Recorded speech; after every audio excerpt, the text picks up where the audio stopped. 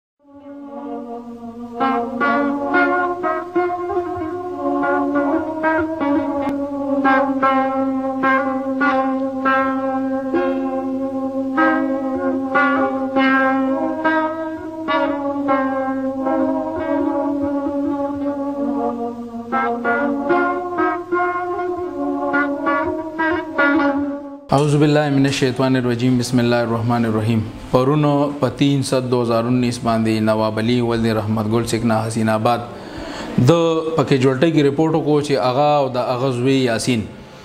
د شاه میډیکل کمپلیکس سره ولاړو چې د دوران کې د دبل زوی د افتخار علي اغه راغه او د یاسین سره په خبرو خبرو کې ګرم شو په د باندې پچاکو باندې گزارو کو چې هغه سره هغه وفات شو دی کې مقدمه رجسټر شو د دې واقعي ډي پی او سیف سختۍ سره نوټس واغستو د ایس پی سیف انویسټیګیشن نذیر خان په نگرانۍ کې په ما په ایس ایچ او جو هرشید خان په تفتیشي افسر حبیب الحسن خان او ایس ای وکاس خان په مونږ باندې مشتمل یو تفتیشي ټیم جوړ کو مونږه په دې کې په مختلفو زاویو باندې تفتیش شروع کو او په سو غنټو کې دننه دننه د ملزم افتخار علي ولد نواب علي سکنا سین آباد دام گرفتار کو چې کوم الیکتل چاکو دی هغه د دې ملزم نه برآمد شوی دی دا دومره بدبخت انسان دی زما شاته چې دا کوم ولاړ دی سنتو باندې خبر برابر دی خدا دومره بدبخت انسان دی چې د 3000 روپو موبایل د پاره د خپل مشهور په چاکو والو او وی وجلو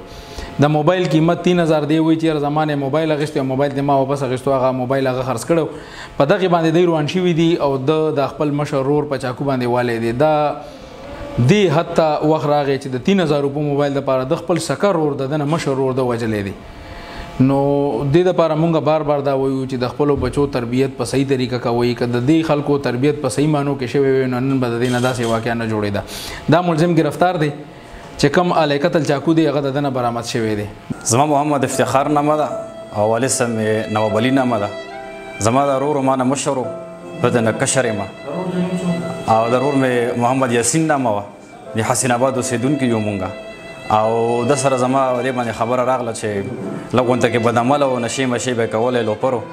نو ما نه لږ غونډه کې داسې څلور پنځه ځله رانه غلا وکړله اوس موجوده ما نه موبایل پټ کړی او دا رانه غشتی دوه درې زره روپو موبایل ورسې نو ما ته خپل موبایل وخت چې موبایل را لراکا او تا سره ما سره کار بقای نشته نو د موبایل نه راکول الټا ما ته لاس را واچول زیو علما نو دغه دوران کې زه په نو شوم چاکو باندې مانو لګیدو او وفات شو هغه سره